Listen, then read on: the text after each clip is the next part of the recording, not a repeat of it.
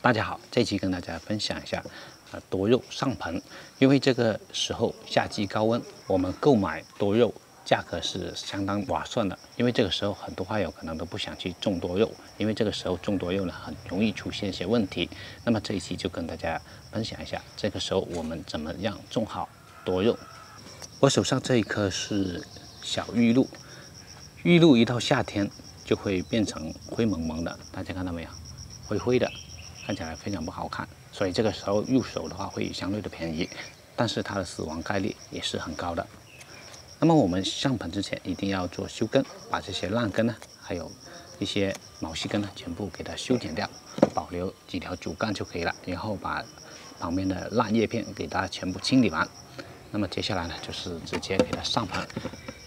我们配土呢，一定要选一些颗粒多一点的土壤。像我这一些的话，大概占比百分之八十左右的颗粒土，因为颗粒土多了，它不容易积水，不容易积水，它就不容易烂根。我们直接给它上盆就可以了。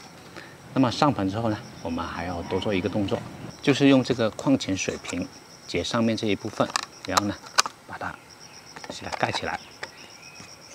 那么盖起来之前，我们要给它戳一下洞，给它开一下洞。不开洞的话，它不透气，那么就容易造成它出现积水腐烂。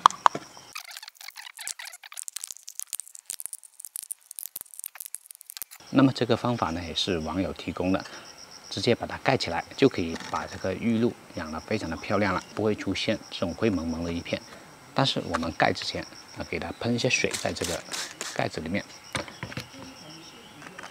这样呢就可以起到一个保湿的作用。接下来这段时间呢，就观察它一下，会不会出现化水。如果出现情况的话，我们要及时的给它拿掉，放到通风的地方。我们保证不要给它晒太阳，也不要给它施肥，也不要给它浇水，就这样就可以了。一定要记住，把它放到通风的地方。